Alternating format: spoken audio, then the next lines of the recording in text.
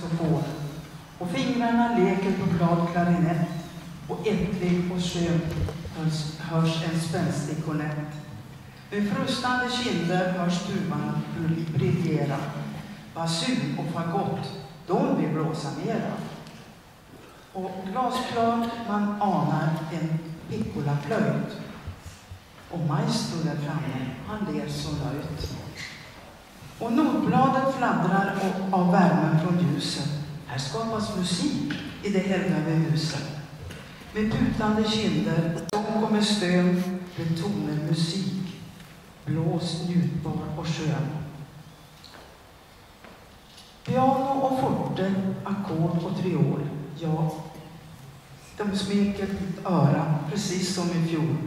Tonerna flätas till skön harmoni och allt blir en mäktig adventssymfoni. Så öppna ditt hjärta, ej endast på glänt, och låt tonerna smeka din själ i advent. Ge ljuset och värmen en plats i ditt bröst och dela med andra av vänskap och törst. I blåsarnas toner och körsångens ljud du anar en närhet, en hälsning från Gud. Då låt nu musik i advent bli en tid av härlig förväntan, av glädje och frid.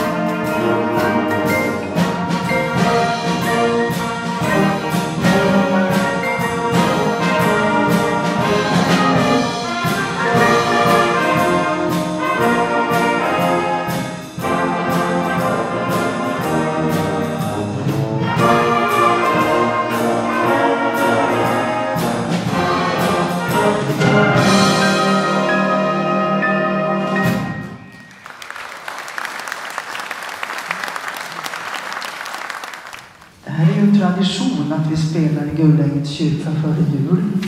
Och vi kallar det för julmusik, men det är bara tredje advent imorgon. Så det var därför jag började med att läsa den här adventdikten utav Lars-Erik Sever. Winter Wonderland inledde vi med.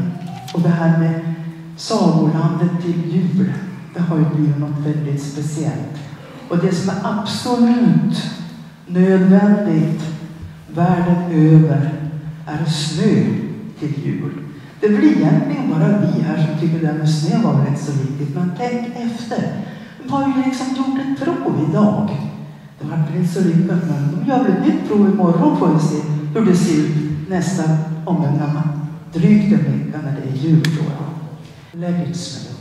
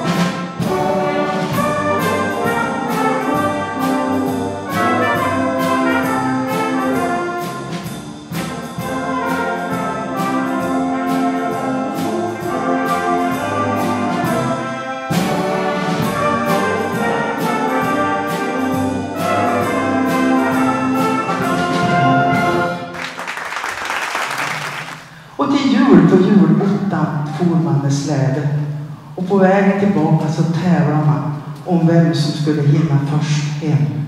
Så hästen är också en viss viktig symbol i juletid.